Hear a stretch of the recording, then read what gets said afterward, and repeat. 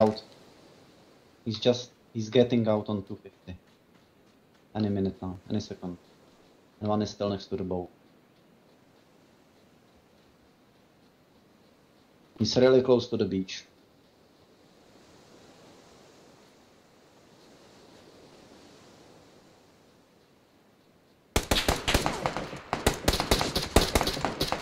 Jesus, how did that fucking guy get us both, dude? Behind you, behind you! Oh, shit, dude. They set a trap for us.